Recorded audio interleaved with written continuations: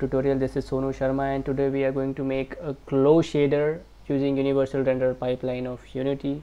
So let's get started. Uh, let's make a game object sphere or cylinder. You can take whatever you want. Create a material for this. Glow matte then what we have to do is we have to well, let's assign this material to our sphere first. Let's see the material is assigned. Let's change the color to white. I like white so let's change it white. Then you have to go and create shader and PBR graph. So now we have to rename it. Uh, let's name it as shader glow glow. And double click on it will show a window. This is where you have to edit your shader.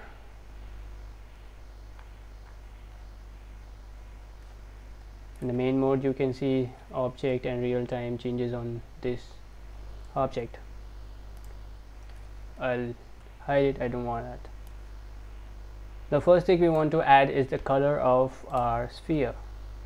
So let's create a node type color and there you go. We can add color. And let's turn the output to emission.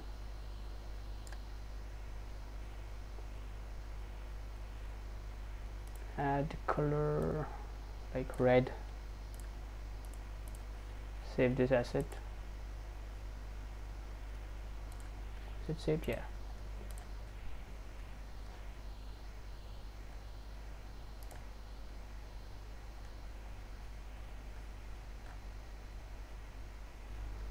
and why it is not showing here on our object because we haven't applied that shader that we have created onto that object.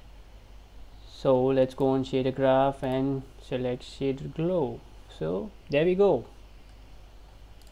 Now to make it more easy we want this color to be changed from the inspector panel. So what we can do is we can go into the glow shader right click on it and let's make it a property. Convert it to properties. Now our color is a property and which is visible in our inspector. Let's see. Let's save this asset. You see this? Now here you can change the color whatever you want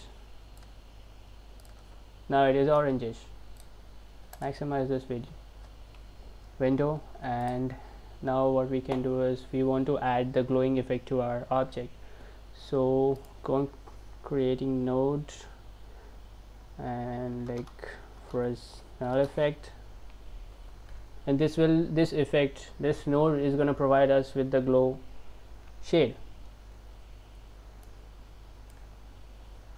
So now it has one in one output and multiple inputs. So and here on emission pbr master we have only one input. So what we can do is we can right click and create a multiply node.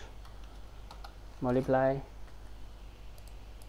Delete it, this one from here add the output to a1 and the output of this to one minute just a moment. What happened? Yeah I've added to b. Delete it just take it up a bit up. Add the output here my system is a bit slow so bear me for that. And out of this to the input of b like multiply. And you can this is cool effect here. We can reduce the power also. If you want to increase it reduce it you can do it from here. I'll keep it like 2.5 so it's giving me a cool effect now add the output to the input of PBR master emission. There we go. Save this asset. Let's see the changes right away. You can see the changes right now in this game view. Now this is the static glow effect what uh, is mainly used in some 2d games or 3d games I want it to fade in and fade out. So let's do that. For that we need to add time. So maximize it.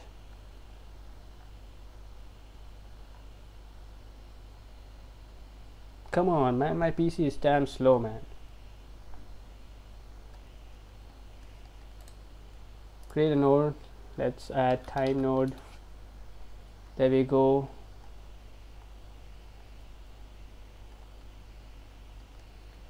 and the input of this sine to remap. Remap. Now you can see this cool timing effect here.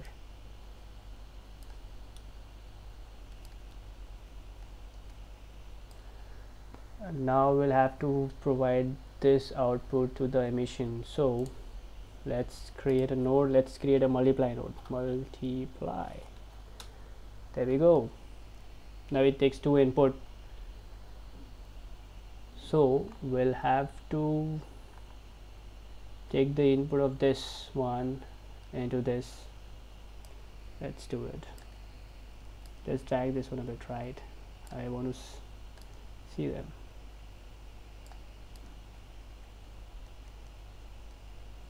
Okay.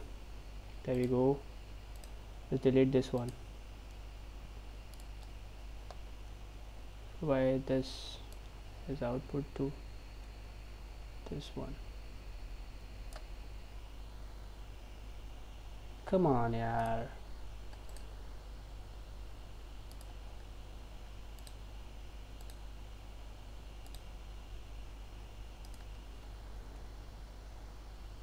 Output to A1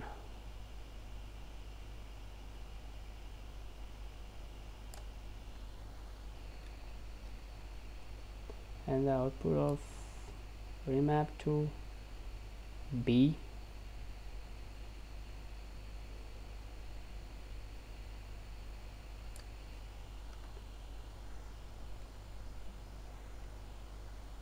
Now see you can see that this is happening a bit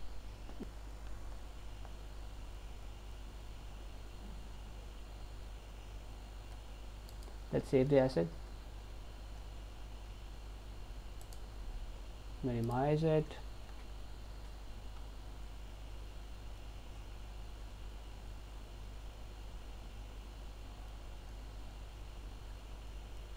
Now you can see this cool effect here. Let me maximize it. You see this one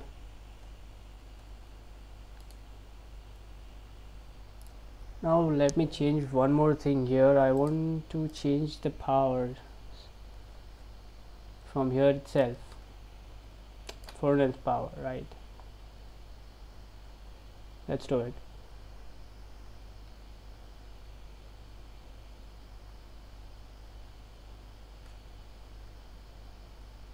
Let's add vector 1 from here. Uh, power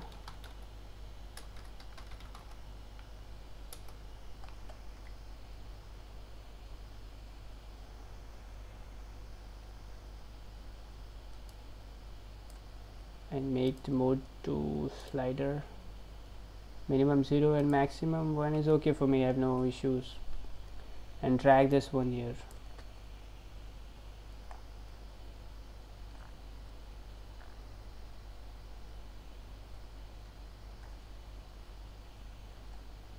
As it is a property we will be able to change this value from the inspector itself and add this output to the power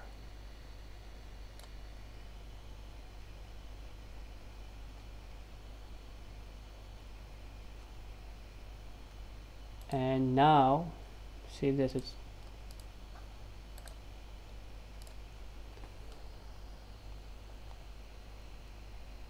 and now you can see that we'll be able to change the rim power from here itself. And you can see this glowing effect. Look at that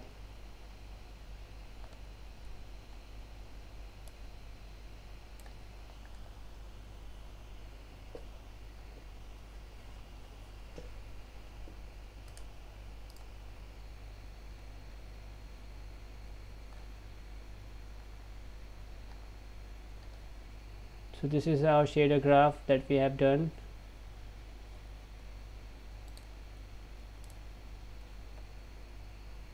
Let's maximize it and go on play mode.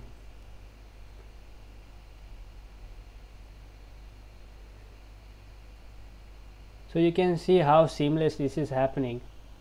Now you can give this cool effect to any of your game object any of the model that you like to have this type of glow